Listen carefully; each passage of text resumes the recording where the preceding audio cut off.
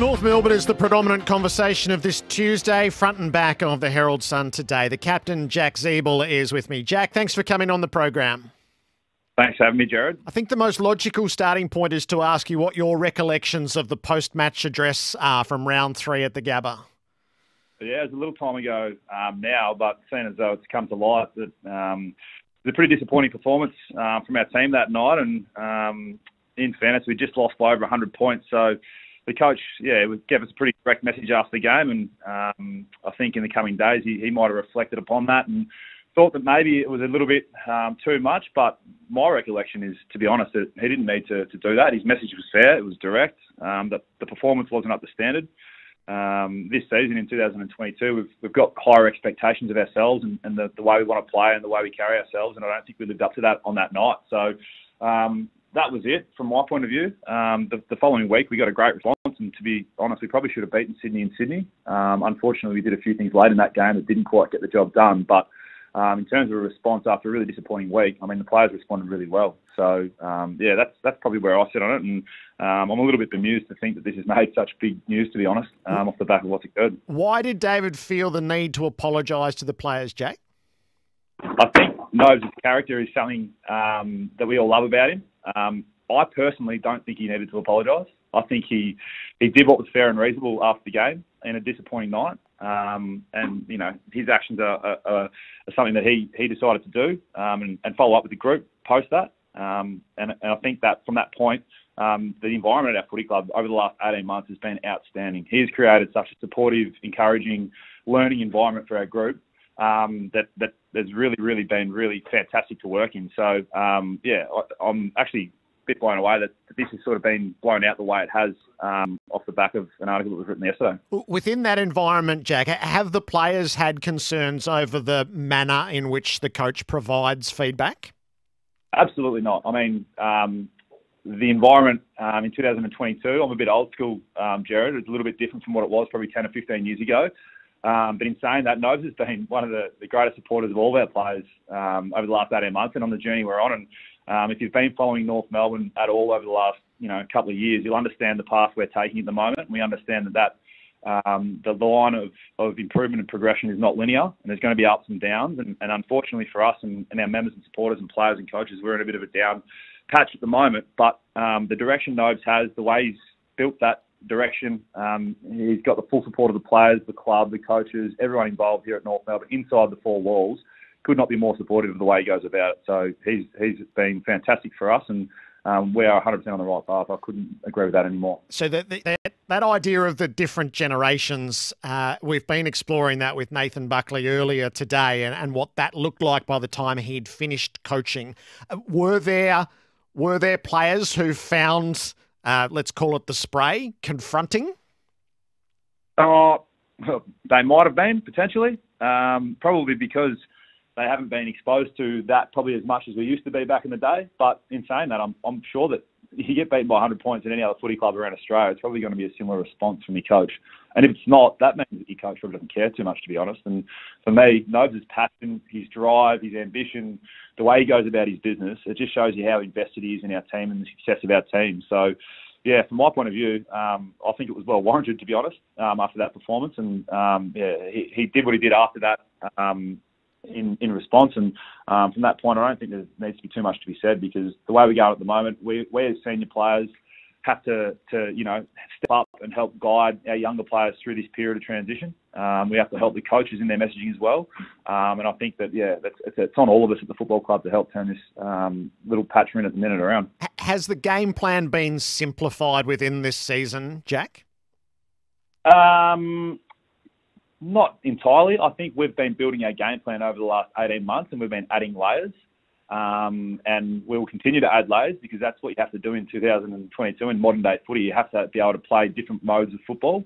Um, so we, when Nobes first started, he come off the really short run. Um, I think he was appointed in December. We didn't start pre-season until 2021 January. Um, a lot of the older guys. So we only had a really short pre-season last year with Nobes to instill a little bit of his game plan. So we've had all summer all last year um, and this pre-season to instill a bit more. And um, you know, there's plenty to learn because it is a new game plan, and, and, and a few of our guys might be just starting to learn that. But we have to keep on the path, and we can't deviate. And Nobes has been really strong at that. And I couldn't agree with him anymore. That the game plan we we have at the moment, I think stacks up. We just have to produce it more often, um, and that's our challenge. We haven't been able to do it more uh, consistently enough. So, have there been moments, Jack, within the season where there's been feedback that it is confusing and and difficult to implement? No, I don't think so. I mean, uh, at times when things are happening in games, there's there's clarification needed 100%, and, and to, to simplify what your priorities are in a game, it happens all the time, and at every footy club it would happen as well.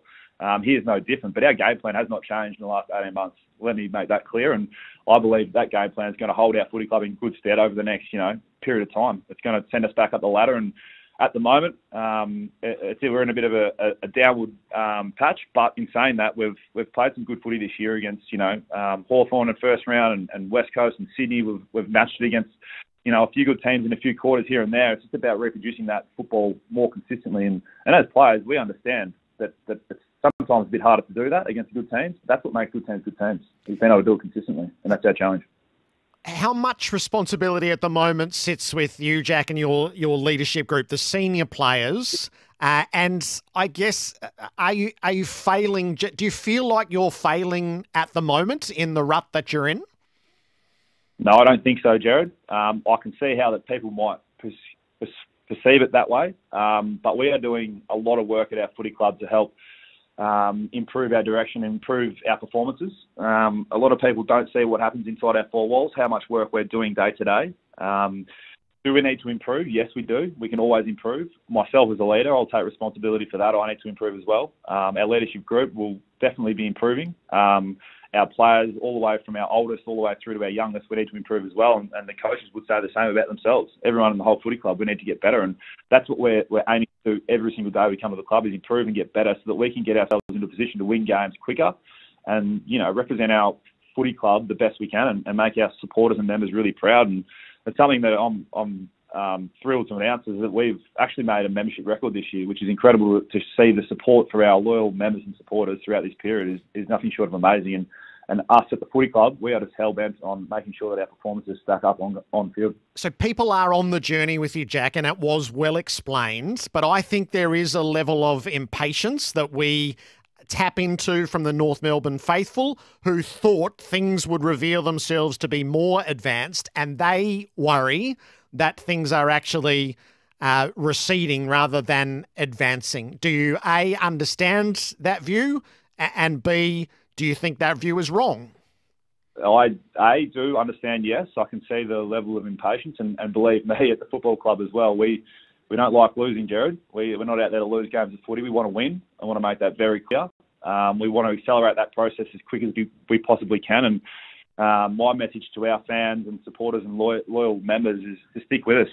Um, it, it, might not seem like we're improving at the rate that everyone expects us to right now, but you're never going as bad as you think you're going, and, and when you're going really well, you're never going as well as you think you're going as well. So I actually firmly believe we're on the right direction. I think we're we're not far away from turning it around, um, and I understand there's plenty of intrigue around our narrative at the moment in our story of our season, but there's plenty of footy to go, um, and we're focused on improving day by day, making sure that we improve our performances and, and get better as individuals and also as a team, as a club. Um, we do that, and you'll see some inroads coming very, very soon. How would you diagnose the past few games, Jack? After so I called the Sydney game. It was a hugely commendable performance, and probably with a little bit of poise, you win that game. Um, I'm not sure how competitive the past three performances have been to observe from the outside. What what would your diagnosis be?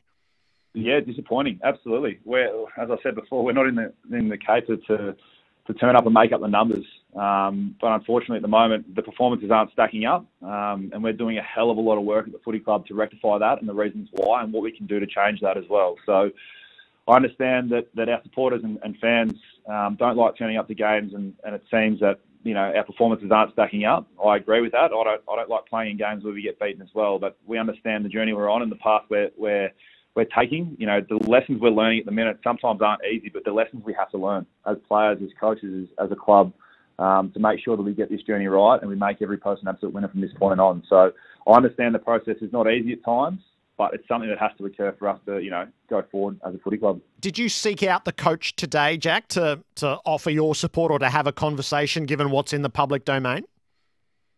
yeah, I spoke to Nobes pretty closely over the last few days. Um, pretty close with Nobes. I've got a lot of respect for him and the way he goes about it. Um, what he's done for our footy club in such a short period of time he's been um, here is is nothing short of incredible. Um, the relationships he's built all the way from the players, all the way through admin, to footy department staff. Um, it's really, really commendable the way he's gone about it, and um, it's probably the least, the last thing he needs to be dealing with on a Monday is having to deal with all this stuff um, when we're in the position we're in. So um, I offered my support in any way I can can do that for him, um, and will continue to do so um, from this point on. Is it your job, Jack, as captain, to know?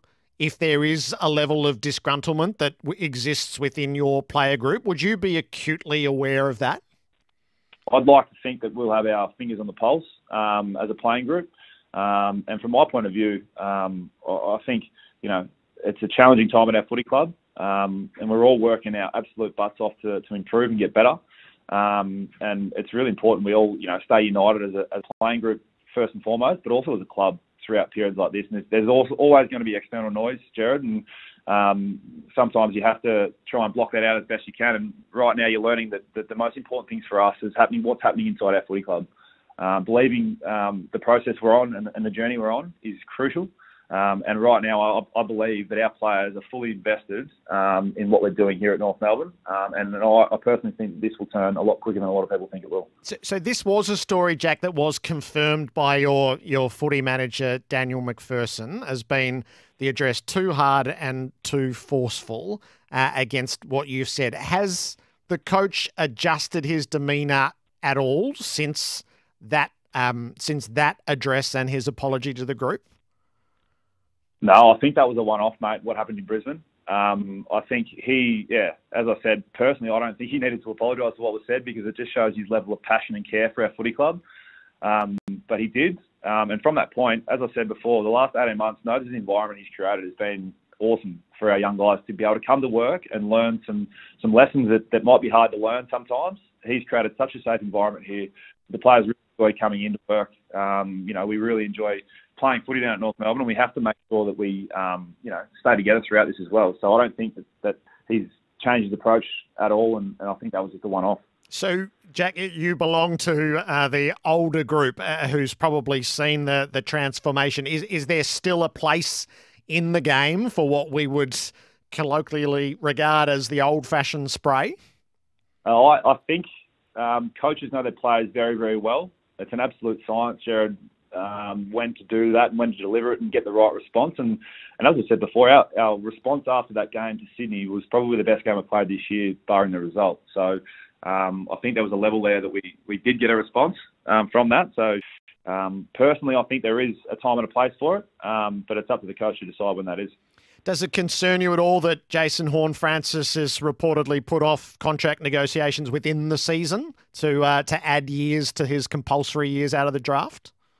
No, I don't think so. Um, I know Jace pretty well, and um, he's obviously a super talented kid. Um, but yeah, it's decisions for him, his family, and, and, obviously his management make that call, and it's got nothing really to do with us as players.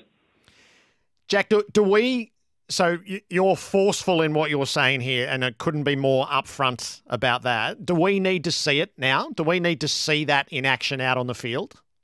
Absolutely, mate. And, and to be frank, I'm not that comfortable um, speaking all these words because I'd rather let actions do talking. Um, it's it's sometimes you have to to say things, um, but I'd rather do things. Um, and and to be fair, I want our supporters to see our playing group and club improve week by week, um, and just for them to know that we are working our absolute tails off to make that happen. Um, the journey we're on, I think the narrative's been written that uh, it will be a little bit bumpy at times, but with that comes a level of expectation, and, and no one expects more than ourselves here at the footy club, and, and we've been disappointed with our start to the year. There's no doubt about that. So it's time now for us to yeah yeah show some action and, and some improvement as well.